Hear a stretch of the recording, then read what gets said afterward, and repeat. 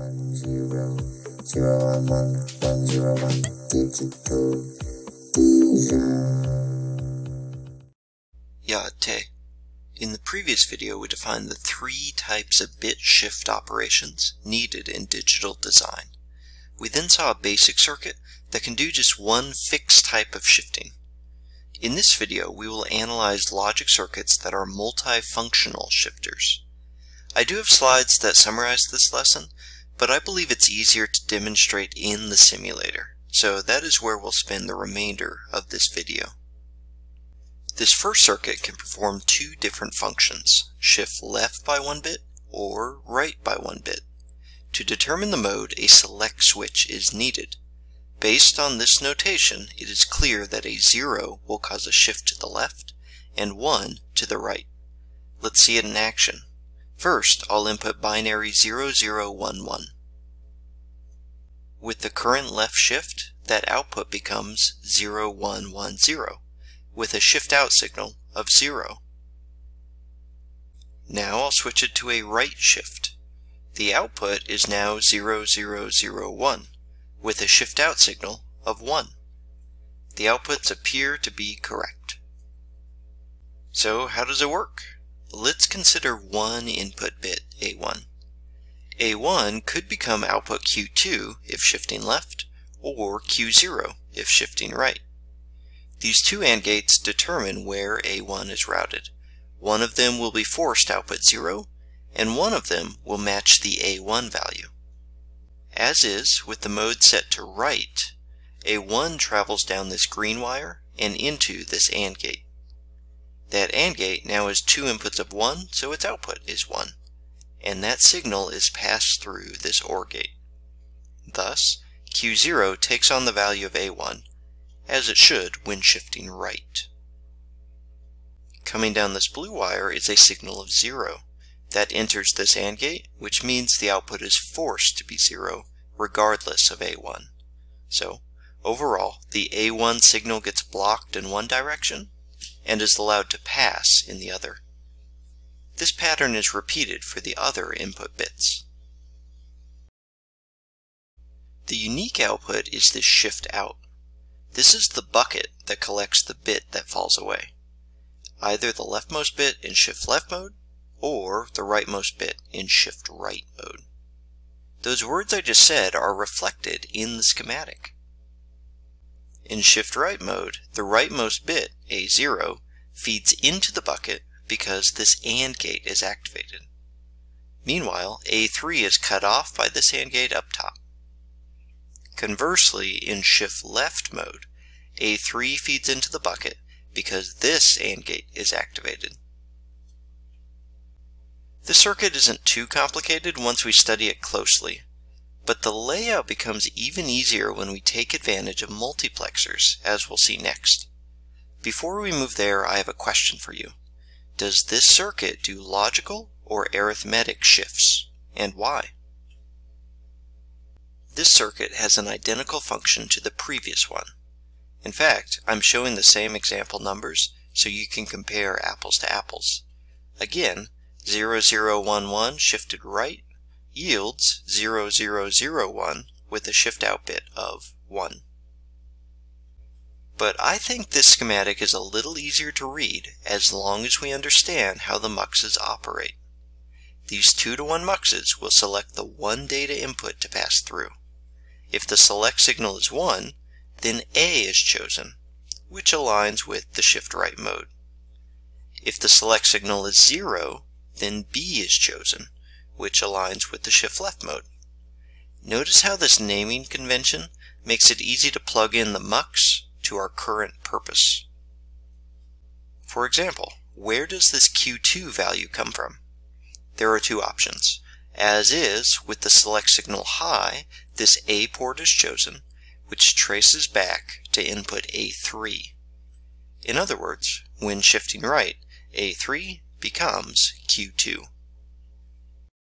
Conversely, when the select signal is low, this B port is chosen, which traces back to input A1. Thus, when shifting left, A1 becomes Q2. This matches the goal of the circuit. back to the question I asked you. Does this circuit do logical or arithmetic shifts? The answer is logical.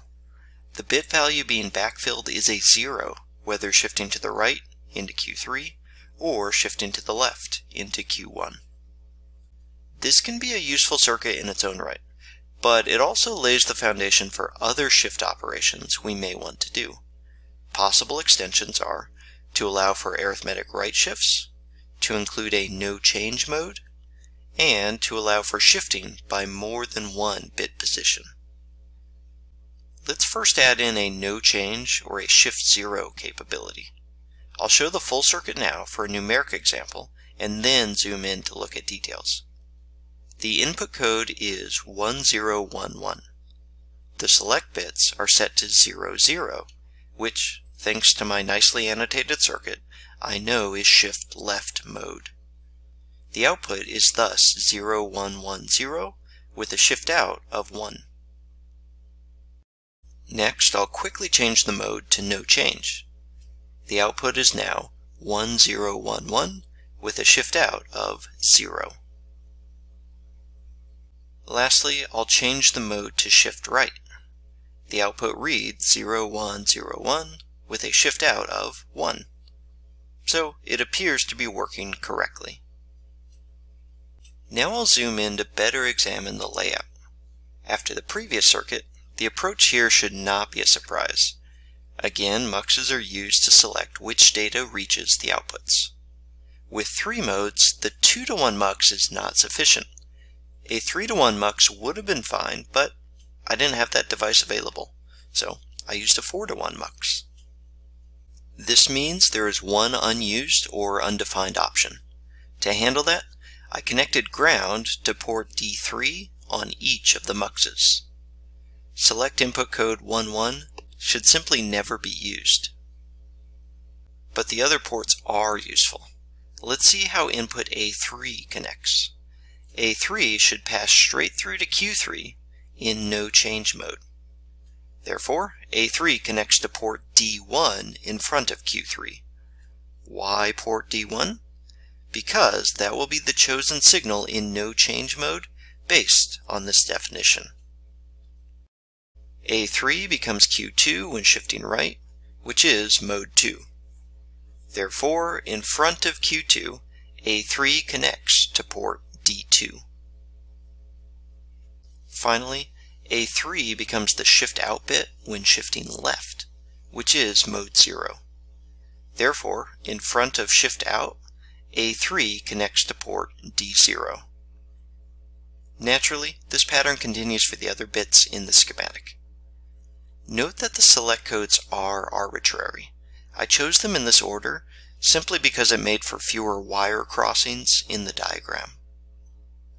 This schematic still can only perform a logical right shift, thanks to this ground signal providing the backfill bits. But this can be easily adapted to include the capability for an arithmetic right shift. We even have unused ports in the muxes, just waiting for something to do. I won't show the internal circuit, but will probably ask you to design that yourself. I will show the completed device symbol, however. Notice how I use a hex keyboard and display for the 4-bit code. This makes for quick changes, but isn't always the most convenient for watching the bit shift, so I also am showing the binary values.